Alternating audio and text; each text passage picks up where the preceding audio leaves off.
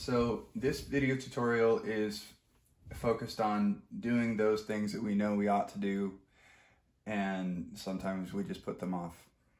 So just to start it out, I'm going to encourage everyone to call their mother or father and tell them that you love them.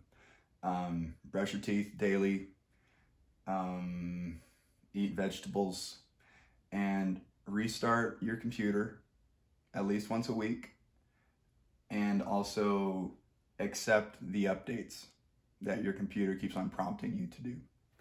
A lot of the customer support emails that we've answered as we get down the rabbit hole um, of support, we find that the reason CenterCam hasn't been recognized by the computer is because the computer either hasn't been restarted in a while or it hasn't been restarted in conjunction with the updates um, to the operating system that the computer desires.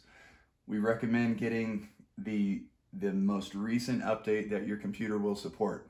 What we're finding with a lot of the computer support issues that we're providing is that um, we're talking an old piece of equipment with lots of different apps that all interrelate in different ways in some stage of update or obsolescence and um, CenterCam and the computer aren't talking the same language. So the best way around that, restart your computer, and accept whatever the most recent updates that your computer will accept. And that's digitally, that's like eating your vegetables.